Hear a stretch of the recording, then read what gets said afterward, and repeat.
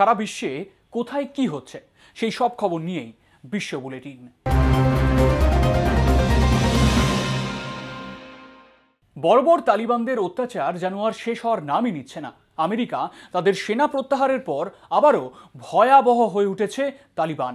দফায় দফায় সেখানে অতর্কিতে হামলা চালাচ্ছে জঙ্গি গোষ্ঠী। সাম্প্রতিককালে আবারও কেঁপে উঠেছে আফগানিস্তান। তাদের অত্যাচারে শুধুমাত্র সাধারণ মানুষরাই নন দেশ ছেড়ে পালাচ্ছেন আফগান সেলিব্রিটিরাও। আর এজন্য আশরাফ ঘানির ঘাড়েই সমস্ত দোষ চাপাতে ব্যস্ত হয়ে উঠেছে আমেরিকা। আফগানিস্তানের নানান খুঁটিনাটি খবর নিয়েই আজকের নিউজ ডিকোডেড। আমেরিকায় দু হাজার এক সালের নয় এগারোর হামলার পর তৎকালীন আমেরিকার প্রেসিডেন্ট জর্জ বুশ জুনিয়র বিশ্ব সন্ত্রাসবাদদের বিরুদ্ধে লড়াই শুরু করেছিলেন। শুরু করেছিলেন মিশন আফগানিস্তান। যার মূল লক্ষ্য ছিল সারা বিশ্ব থেকে তালিবান বা বিভিন্ন জঙ্গি সংগঠনগুলির অত্যাচার থেকে সারা বিশ্বকে মুক্তি দেওয়া। কিন্তু আমেরিকা তাদের সেনা প্রত্যাহারের পর রীতিমতো নিজেদের পায়ের জমি শক্ত করেছে তালিবান জঙ্গি গোষ্ঠী, যার ফল মানুষ পাচ্ছে হাতে নাতে। কখনো বিমান থেকে পড়ে, কখনো তালিবানদের গুলিতে নিহত হয়ে, কখনো আত্মঘাতী হামলায় প্রাণ হারাচ্ছেন বহু আফগান সাধারণ মানুষ সহ আমেরিকান সেনা। আর এবার আবারও আফগান রাজধানীতে ঘটল হামলার ঘটনা। আবারও ভয়াবহ হামলায় কেঁপে উঠল গোটা আফগানিস্তান। কোথায় হলো সেই ঘটনা? দেখুন রিপোর্টে। রাত তখন নটা। হঠাৎ কেঁপে উঠেছে রাজধানী কাবুল। জানা গেল, আবারও রকেট হামলা হয়েছে কাবুলে।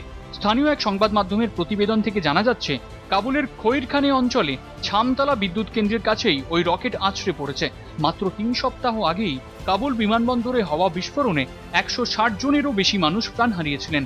তারপর এদিন ফের বিস্ফোরণে কেঁপে উঠল তালিবানের শাসনাধীন আফগানিস্তান। এই বিস্ফোরণের ধরন কিংবা ক্ষয়ক্ষতির পরিমাণ সম্পর্কে এখনও কিছু জানা যায়নি। কোনো গোষ্ঠী এখনও হামলার দায় স্বীকার না করলেও ইসলামিক স্টেট খোরাসানের দিকেই আপাতত সন্দেহের তীর রয়েছে বিশেষজ্ঞ মহলের। উল্লেখ্য, কাবুল বিমানবন্দরে বিস্ফোরণের চক্রে ছিল এই জঙ্গি গোষ্ঠী। আর সেই কারণেই এই হামলাও তাদেরই চক্রান্তের ফলে হতে পারে বলে আশঙ্কা করছেন বিশেষজ্ঞেরা। প্রসঙ্গত গত অগস্টের শেষ সপ্তাহে ধারাবাহিক বিস্ফোরণে কেঁপে উঠেছিল কাবুল বিমানবন্দর। বিস্ফোরণে কমপক্ষে একশো সত্তর জনের মৃত্যু হয়েছিল। কাবুলের হামিদ কারজাই আন্তর্জাতিক বিমানবন্দরে পূর্ব গেটের সামনে ঘটেছিল প্রথম বিস্ফোরণ। তারপরের বিস্ফোরণটি ঘটে ব্যারন হোটেলের সামনেও। তার কিছুক্ষণের পরেই ব্রিটিশ ও মার্কিন সেনা ছাউনির পাশে আরও একটি বিস্ফোরণ ঘটে, যার ফলে মারা গিয়েছিলেন বহু মানুষ। আফগানিস্তানের এই ঘটনায় দায়ী কে তা নিয়ে বিশ্বের বহু দেশের মধ্যে জল্পনাও শুরু হয়েছিল। কিন্তু সেই সব জল্পনাকে কার্যত নস্বাত করে দিয়ে আশরাফ ঘানির উপরেই দায় চাপাতে ব্যস্ত আমেরিকা। সারা বিশ্ব এক কঠিন পরিস্থিতির মধ্যে দিয়ে যাচ্ছে আর এরই মাঝে আমেরিকা ব্যস্ত দোষ চাপাতে। কার ঘাড়ে? আশরাফ ঘানির ঘাড়ে। দেখুন রিপোর্ট কি বলছে। মার্কিন ফৌজ সরতেই তাসের ঘরের মতো ভেঙে পড়ে আফগান ফৌজ। কার্যত বিনা যুদ্ধে অগস্টের পনেরো তারিখ কাবুল দখল করে তালিবান। তার কিছুক্ষণ আগেই হেলিকপ্টারে দেশ ছেড়ে পালিয়ে যান আশরাফ ঘানি। আর সেই কথা তুলে প্রাক্তন প্রেসিডেন্টের ঘাড়েই সমস্ত দোষ চাপিয়ে আফগান বিপর্যয়ের লজ্জা নিবারণে ব্যস্ত আমেরিকা। আফগানিস্তানে নিযুক্ত বিশেষ মার্কিন দূত তথা দোহা শান্তিতে আলোচনার অন্যতম কাণ্ডারি জালমে খলিলজাদ স্পষ্ট ভাষায় জানিয়েছেন আশরফ ঘানি কাবুল ছেড়ে না পালালে শেষ মুহূর্তে আফগান সমস্যার রাজনৈতিক সমাধান হয়ে যেত। খলিল জাদ জানিয়েছেন, পরিকল্পনা ছিল যে আফগানিস্তানে ক্ষমতা ভাগ নিয়ে রাজনৈতিক সমাধান না মেলা পর্যন্ত তালিবানকে কাবুলে ঢুকতে না দেওয়া। সেই উদ্দেশ্যে কাতারে আমেরিকা ও তালিবানের মধ্যে আলোচনাও চলেছিল, কিন্তু ঘানি কাবুল ছেড়ে পালিয়ে যাওয়া মাত্র সরকারি বাহিনী অস্ত্র ফেলে দেয়। ফলে রাজধানীতে ক্ষমতার শূন্যস্থান তৈরি হয়, আর সেই সুযোগে কাবুলে তালিবান ঢুকে পড়ে। তালিবান কাবুল দখল করার পর গুরুতর সমস্যা শুরু হয়েছে গোটা দেশ জুড়ে। আর তা যে অচিরেই সারা বিশ্বের মাথা ব্যথা হয়ে দাঁড়াবে, তা আজ করেছেন বিশেষজ্ঞেরা। এই সময় কীভাবে এই সমস্যার সমাধান করা যায়, সেদিকে নজর না রেখে যদি এইভাবে একে অন্যের ঘাড়ে দোষ চাপাতে থাকে বিশ্বের সভ্য দেশগুলি, তাহলে তো সমস্যা আরও বাড়বে। যার ফলে প্রাণ হারাতে হবে সাধারণ মানুষকে। আর কতদিন সাধারণ মানুষকে এই অকথ্য অত্যাচার সহ্য করতে হবে? আর কতদিন এভাবে সাধারণ মানুষকে পায়ের নিচে রাখবে তালিবান? প্রশ্ন এখন এটাই, যার কোনো সদুত্তর পাওয়া যাচ্ছে না। কিন্তু মানুষের আশা একদিন আবার সব ঠিক হবে। এই ঝড় থেমে যাবে, পৃথিবী আবার শান্ত হবে।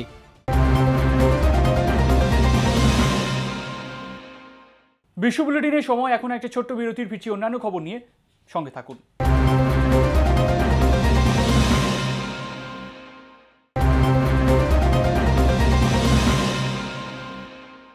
বিশ্ব বুলেটিনে এবার সময় ক্লুজের। পয়লা ফেব্রুয়ারি সেনা অভ্যুত্থানের পর জুন্টা বাহিনী একের পর এক দুর্নীতির অভিযোগ এনেছিল আংসাং সুকির বিরুদ্ধে, যার জেরে উত্তাল হয়ে উঠেছিল গোটা মায়ানমার। আর এবারও আবার মায়ানমারের নেত্রী আংসাং সুকির বিরুদ্ধে জুন্টা বাহিনী আনলো এক নয়া অভিযোগ। কি সেই অভিযোগ? তার উত্তর নেই আমাদের প্রথম ক্লু। এবার মায়ানমারের গণতন্ত্রকামীদের উপর আরও চাপ বাড়াচ্ছে মায়ানমারের সেনাবাহিনী। জানা গিয়েছে, এবার মায়ানমারের এনএলডি এর শীর্ষ নেত্রী আংসাং সুকির বিরুদ্ধে আরও একটি দুর্নীতির মামলা রুজু করেছে দেশটির সামরিক প্রশাসন। সূত্রের খবর, সুকির বিরুদ্ধে রাষ্ট্রদ্রোহের ও দুর্নীতির মামলা চলছে, আর তার মধ্যেই একটি নয়া মামলা রুজু করা হয়েছে জুন্টা বাহিনীর তরফ থেকে। চলতি বছরের বিগত জুন মাসে দুর্নীতি দমন কমিশনকে উদ্ধৃত করে মায়ানমারের একটি সংবাদ মাধ্যম জানিয়েছিল মায়ানমারের রাজধানী নাইপিদাওয়ে একটি থানায় সুকির বিরুদ্ধে জমি সংক্রান্ত দুর্নীতির অভিযোগের মামলা দায়ের করা হয়েছে। আরও জানা গিয়েছে, ওই মামলায় শুধু তাকেই নয়, অভিযুক্ত করা হয়েছে তার দল ন্যাশনাল লিগ ফর ডেমোক্রেসির আরও বেশ কয়েকজন শীর্ষ নেতাকে। অভিযোগ ডক ইন কি ফাউন্ডেশন নামের একটি দাতব্য সংস্থার জমি নয়ছয় করেছেন সুকি ও তার সঙ্গীরা। যে মামলায় দোষী সাব্যস্ত হলে তার কুড়ি বছরের জেলের সাজাও হতে পারে। এবার যদি কয়েক বছর পিছনে ফিরে যাওয়া যায়, দেখা যাবে দু হাজার বারো সালে নিজের মায়ের নামে ওই সংস্থাটি তৈরি করেছিলেন গণতন্ত্রকামী আং সাং সুকি উল্লেখ্য, গত পয়লা ফেব্রুয়ারি আচমকাই মায়ানমার দখল করেছিল সেদেশের সামরিক বাহিনী। বিপুল ভোটে জেতা সত্ত্বেও পতন হয়েছিল নির্বাচিত সরকারের। আর তারপর থেকেই সেনার নির্দেশেই গৃহবন্দী মায়ানমারের নেত্রী আং সাং সুকি জানা যায়, তার বিরুদ্ধে রয়েছে একাধিক অভিযোগ। আর্থিক দুর্নীতি ও ভোটে কারচুপি, এমনকি ভোট প্রচারে করোনা বিধি ভাঙারও অভিযোগ রয়েছে নোবেলজয়ী এই নেত্রীর বিরুদ্ধে। জুন্টা বাহিনী দেশের শাসন ক্ষমতা দখল করার প্রায় চার মাস পর, গত মে মাসে প্রথমবার সুকিকে আদালতে তোলা হয়। সেখান থেকেই আইনজীবীর মাধ্যমে দেশবাসীর উদ্দেশ্যে বার্তা দিয়েছিলেন তিনি। গত বছর বিরোধীদের পরাজিত করে ক্ষমতা দখল করেছিল সুকির দল ন্যাশনাল লিগ ফর ডেমোক্রেসি। মায়ানমারের সংসদে নিম্নকক্ষের চারশো পঁচিশটি আসনের মধ্যে তিনশো ছেচল্লিশটি আসনে জয়ী হয়েছিল তারা। কিন্তু এরপর রোহিঙ্গা ইস্যু থেকে শুরু করে একাধিক বিষয়ে সেনাবাহিনীর সঙ্গে দূরত্ব তৈরি হয় সুকির সরকারের। আর তারপর অভ্যুত্থান পাল্টে দেয় গোটা চিত্র। দেশের মানুষের ওপর অকথ্য অত্যাচার, নির্বিচারে গুলি, কখনো সাংবাদিকদের গ্রেফতারের মতো একাধিক ঘটনা উঠে আসে, যার জেরে উত্তাল হয়ে ওঠে গোটা দেশ। যা জুন্টা বাহিনীর বর্বর রূপের প্রকাশ ঘটায়। আর এবার আবারও দেশের জনগণের নেত্রীর বিরুদ্ধে এক নয়া অভিযোগে উত্তাল গোটা দেশ। আমেরিকাকে ভয় দেখানোই কি প্রধান উদ্দেশ্য নাকি অন্য কিছু? সাম্প্রতিককালে ভ্রাম্যমান অবস্থায় উত্তর কোরিয়া দুটি ব্যালিস্টিক মিসাইল উৎক্ষেপণ করেছে। আর এর ফলে এমনটাই মনে করছেন বিশেষজ্ঞ মহলের একাংশ। করোনাকালে নাজেহাল হলেও অস্ত্র তৈরি থামাচ্ছে না কিম জং এর সরকার। আন্তর্জাতিক পরমাণু শক্তি সংস্থা আইএইএ জানিয়েছে ফের পরমাণু বোমার জ্বালানি তৈরির কাজে উদ্যোগী হয়েছে পিয়ং ইয়ং আর শুধু তাই নয়, সম্প্রতি দেখা গিয়েছে একেবারে সিনেমার কায়দায় ট্রেন থেকে ছোড়া হয়েছে এক জোড়া ব্যালিস্টিক মিসাইল, যা ছুড়েছে কিমের ফৌজ। জানা গিয়েছে সাম্প্রতিককালে ট্রেন থেকে দুটি স্বল্প পাল্লার মিসাইল ছোড়া হয়েছে উত্তর কোরিয়ার তরফে, যা আটশো কিলোমিটার দূরে সমুদ্রের নিখুঁত নিশানায় গিয়েও পড়েছে। দেখা গিয়েছে অরণ্য ঘেরা এলাকায় ট্রেন থেকে লাল শিখা ছড়িয়ে দুটি ক্ষেপণাস্ত্র ছিটকে উপরের দিকে উঠতে থাকে, যার অর্থ উত্তর কোরিয়া এবার পাহাড়, জঙ্গল সহ যে কোনো এলাকায় ক্ষেপণাস্ত্র নিয়ে গিয়ে সেখান থেকে তা ছুড়তে পারবে। প্রতিরক্ষা বিশেষজ্ঞরা দাবি করছেন, এই নয়া ভ্রাম্যমাণ ব্যবস্থা তাদের অর্থাৎ উত্তর কোরিয়ার নিরাপত্তাকে বেশ খানিকটা দৃঢ় করে তুলবে। পাশাপাশি স্যাটেলাইট চিত্রে দেখা গিয়েছে, উত্তর কোরিয়ায় আণবিক কেন্দ্রেও গতিবিধি বেড়েছে। সেখানে পারমাণবিক বোমা তৈরির জন্য রীতিমতো ইউরেনিয়াম সমৃদ্ধ করা হচ্ছে। উল্লেখ্য, চলতি বছরের শুরুর দিকে কমিউনিস্ট দেশটির রাজধানী পিয়ং ইয়ং এর সামরিক কুচকাওয়াজে দৈত্যকার ক্ষেপণাস্ত্রের প্রদর্শন করেছিল উত্তর কোরিয়া। বিশ্লেষকদের মতে, দৈত্যকার সেই হাতিয়ারটি ছিল সাবমেরিন লঞ্চড ব্যালিস্টিক মিসাইল অর্থাৎ এসসিবিএম বা ডুবোজাহাজ থেকে মিসাইল উৎক্ষেপণ করার মতো ক্ষেপণাস্ত্র। জানা গিয়েছিল, এটি নাকি আণবিক অস্ত্র বহনে সক্ষম।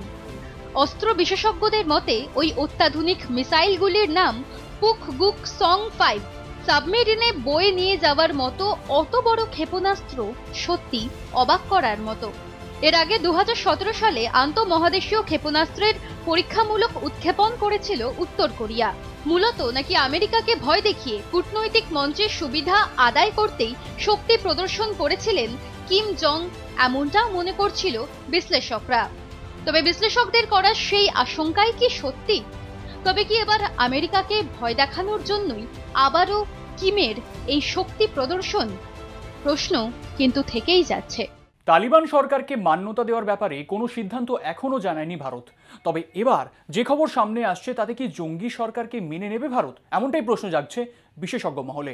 তালিবানের আফগানিস্তান দখলকে কেবল পাকিস্তানি নিজেদের জয় হিসেবে দেখছে না।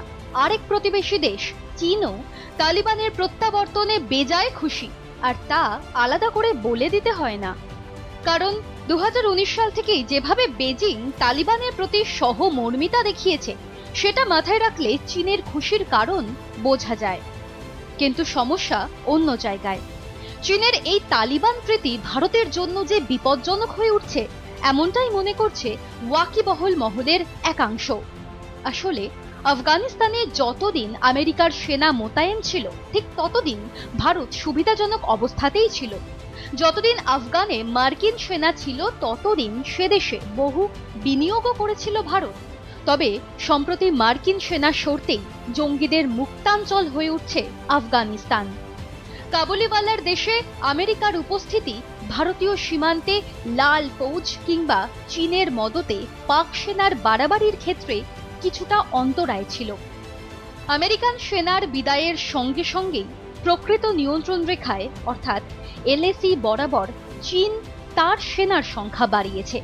আর তাতেই চিন্তার ভাঁজ দেখা গিয়েছে ভারতের কপালে। পাশাপাশি জঙ্গি অভ্যুত্থানে সুবিধা পেয়েছে পাকিস্তানও। আর সেই কারণেই ভারত তালিবানদের প্রতি দরজা একেবারে বন্ধ করে রাখেনি। উনিশশো ছিয়ানব্বই থেকে দু হাজার এক প্রথম তালিবান জামানার মতো স্টান্স এবার আর নেয়নি ভারত সরকার। জিহাদিদের সঙ্গে আলোচনার রাস্তা খোলা রেখেছে তারা। জানা গিয়েছে, তালিবান নাকি জানিয়েছে তারাই চায় না ভারত এবং পাকিস্তান তাদের নিজস্ব ইস্যুতে তালিবানকে টেনে আনুক। যদিও তারই পাশাপাশি কাশ্মীরের মুসলমানদের হয়ে কথা বলার অধিকার তাদের আছে, এমনটাও দাবি করা হয়েছে। আর তাদের এমন দ্বিচারিতায় সিঁদুরে মেঘ দেখছে ভারত।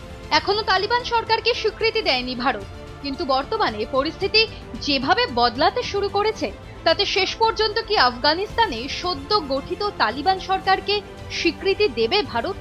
এখন এই প্রশ্নই আলোচনার কেন্দ্রবিন্দুতে। কূটনৈতিক মহলের একাংশের দাবি, সবকিছু ঠিক থাকলে খুব দ্রুতই তালিবান সরকারকে মান্যতা দিতে চলেছে ভারত। টিকাহীন হয়ে পড়েছে দেশ। বাড়তে পারে সংক্রমণ। তৈরি হতে পারে করোনার নয়া স্ট্রেন বিশ্বের বাকি দেশ এগিয়ে না এলে বেজায় সমস্যায় পড়বে এই দেশটি। কোন দেশে কথা বলা হচ্ছে, তার উত্তর নিয়েই আমাদের পরের ক্লু সাম্প্রতিককালে বিশ্বজুড়ে করোনা সংক্রমণের গ্রাফ প্রথমবার নিম্নমুখী হয়েছে বলে বলে জানিয়েছে বিশ্ব স্বাস্থ্য সংস্থা বা হু সারা পৃথিবীর বিভিন্ন দেশের নাম সেই লিস্টে থাকলেও নেই একটি বিশেষ দেশের নাম। সব দেশের মধ্যে ব্যতিক্রমী সেই দেশটি হল আফ্রিকা। জানা গিয়েছে সেখানে সংক্রমণের হার নাকি বেড়ে গিয়েছে সাত শতাংশ। তার উপরে রয়েছে টিকার সংকট। পর্যাপ্ত টিকার অভাবে রাষ্ট্রপুঞ্জের কোভ্যাক্স কর্মসূচিতে আফ্রিকা মুখ থুবড়ে পড়েছে। সূত্রের খবর, এবছরের মধ্যে আফ্রিকা পাবে মাত্র পনেরো কোটি ডোজ। ঘাটতি থাকবে প্রায় সাতচল্লিশ কোটি। আর তাতেই আশঙ্কার মেঘ দেখছে আফ্রিকা। আফ্রিকায় হুয়ের ডিরেক্টর মাতসিদিশো মোয়েতি আশঙ্কা প্রকাশ করে জানিয়েছেন টিকাহীন আফ্রিকায় আগামী দিনেও করোনা আরও ভয়ঙ্কর হয়ে উঠবে। নতুন নতুন স্ট্রেন তৈরি হতে পারে ওই সময়। হু জানিয়েছে, এবছরের শেষে তারা চল্লিশ শতাংশ মানুষকে টিকাকরণের আওতায় আনার যে কর্মসূচি হাতে নিয়েছে, তা আফ্রিকায় সফল করা সম্ভব নয়। সেখানে মাত্র সতেরো শতাংশ মানুষকে টিকা দেওয়া হবে। মৈতির মতে, এই পরিস্থিতিতে ধনী দেশগুলি এগিয়ে না এলে আফ্রিকায় টিকাকরণের লক্ষ্যমাত্রা পূরণ করা এক প্রকার প্রায় অসম্ভব। অন্যদিকে, শিশু এবং কিশোর কিশোরীদের উপরে করোনা প্রতিষেধক কতটা কার্যকর তা নিয়ে দক্ষিণ আফ্রিকায় চূড়ান্ত পরীক্ষা শুরু করে দিয়েছে চীনের টিকা প্রস্তুতকারী সংস্থা সিনোভ্যাক বায়োটেক। সূত্রের খবর, দক্ষিণ আফ্রিকার পাশাপাশি চিলি, কেনিয়া, মালয়েশিয়া, ফিলিপিন্সে ছয় মাস থেকে সতেরো বছর বয়সী প্রায় চোদ্দ হাজার শিশুর উপরে তারা এই পরীক্ষা চালাচ্ছে। এখন দেখার, অর্থনীতির এই কঠিন পরিস্থিতিতে আফ্রিকাকে সাহায্য করতে আদেও কোনো দেশ এগিয়ে আসবে কি?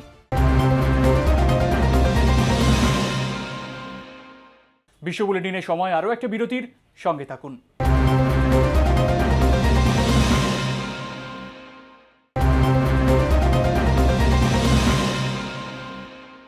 আন্তর্জাতিক বাজারে অস্ত্র রপ্তানিতে শীর্ষে রয়েছে আমেরিকা। বিশ্বের হাতিয়ার ব্যবসায় প্রায় সাঁত্রিশ শতাংশ রয়েছে আমেরিকার দখলে। ওই তালিকায় মাত্র আট দশমিক দুই শতাংশ নিয়ে তৃতীয় স্থানে রয়েছে ফ্রান্স। তাও প্যারিসের হাত থেকে সাবমেরিনের খদ্দের ছিনিয়ে নিয়েছে ওয়াশিংটন। আর এই ঘটনায় দুই বন্ধু দেশের মধ্যে তুঙ্গে বিবাদ। সূত্রের খবর, সম্প্রতি ফ্রান্সের তৈরি অত্যাধুনিক ডিজেল ইলেকট্রিক সাবমেরিন কিনতে চুক্তিবদ্ধ হয়েছিল ক্যাঙ্গারুর দেশ অস্ট্রেলিয়া। হাতিয়ারের বাজারে মুনাফা বাড়াতে কয়েকশো কোটি ডলার মূল্যের এই চুক্তি ফরাসি অস্ত্র নির্মাতাদের কাছে এক বড়সড় সুযোগ ছিল। কিন্তু আচমকা এই চুক্তি বাতিল করে দিয়েছে অস্ট্রেলিয়া। এখন প্রশ্ন আসতে পারে, কেন? কারণ আমেরিকা ও ব্রিটেনের সঙ্গে ভারত প্রশান্ত মহাসাগরীয় অঞ্চলে কৌশলগত সহযোগিতা বাড়িয়ে তুলতে চুক্তিবদ্ধ হয়েছে অস্ট্রেলিয়া, যার ফলে আমেরিকার তৈরি অত্যাধুনিক আণবিক শক্তিচালিত ডুবোজাহাজ চলে এসেছে অস্ট্রেলিয়ার হাতে, আর যার ফলেই খুব স্বাভাবিকভাবেই ফরাসি ওই ডিজেল চালিত সাবমেরিন কিনতে অস্বীকার করেছে অস্ট্রেলিয়া। আর এভাবে মুখের গ্রাস ছিনিয়ে অস্ট্রেলিয়াকে সাবমেরিন দিয়ে ফ্রান্সের ক্ষোভের মুখে পড়েছে বাইডেনের দেশ, যার ফলে ফ্রান্স আমেরিকার ওই ভূমিকাকে পিছন থেকে ছুরি মারার সামিল বলে উল্লেখ করেছে। এই ঘটনাকে কেন্দ্র করে ভারত প্রশান্ত মহাসাগরীয় অঞ্চলে টানাপোড়েনও বেড়েছে বেশ কিছুটা। পরিস্থিতি এমন জায়গায় পৌঁছেছে যে আমেরিকা ও অস্ট্রেলিয়া থেকে রাষ্ট্রদূতদের ফেরত আসার নির্দেশ দিয়েছে ফ্রান্স।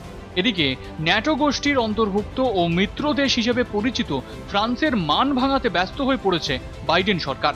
সূত্রের খবর, প্যারিসের সঙ্গে আলোচনার মাধ্যমে বিবাদ মিটিয়ে ফেলারও চেষ্টা করছে আমেরিকা। সম্পর্কের এই ড্যামেজ কন্ট্রোল করতে মাঠে নেমেছে অস্ট্রেলিয়াও। দেশটির বিদেশ মন্ত্রক জানিয়েছে, ফ্রান্সের সঙ্গে বন্ধুত্বকে যথেষ্ট মর্যাদা দেয় অস্ট্রেলিয়া। ফরাসি রাষ্ট্রদূতকে ফিরিয়ে নেওয়ার এহেন সিদ্ধান্ত রীতিমতো হতাশাজনক। অন্যদিকে, প্রতিরক্ষা বিশ্লেষকদের মতে, ভারত প্রশান্ত মহাসাগরীয় অঞ্চলে চীনকে সায়স্তা করতেই অস্ট্রেলিয়াকে দলে টানছে আমেরিকা। এখন দেখার, ফ্রান্সের সাথে হওয়া সম্পর্কের এই চিড় কত তাড়াতাড়ি ঠিক করতে পারে এই দুই দেশ?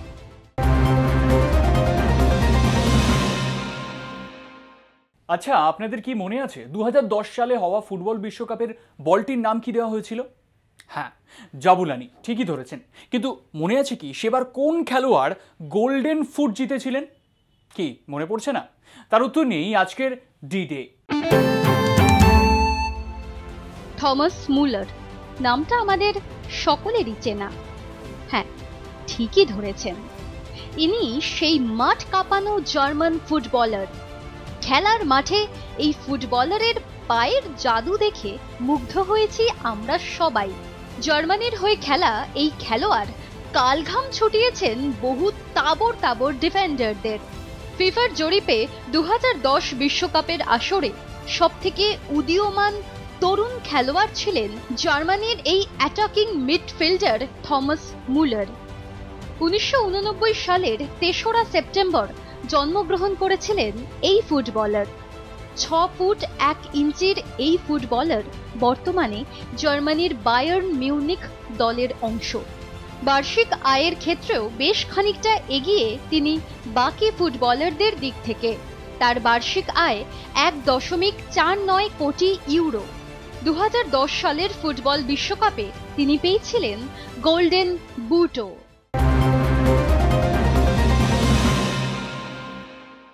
বিশ্ব বুলেটিন আজকের মতো এই পর্যন্তই। দেখা হচ্ছে পরের সপ্তাহে, ঠিক এই সময়। ততক্ষণ চোখ রাখুন, ওয়ানে থাকুন।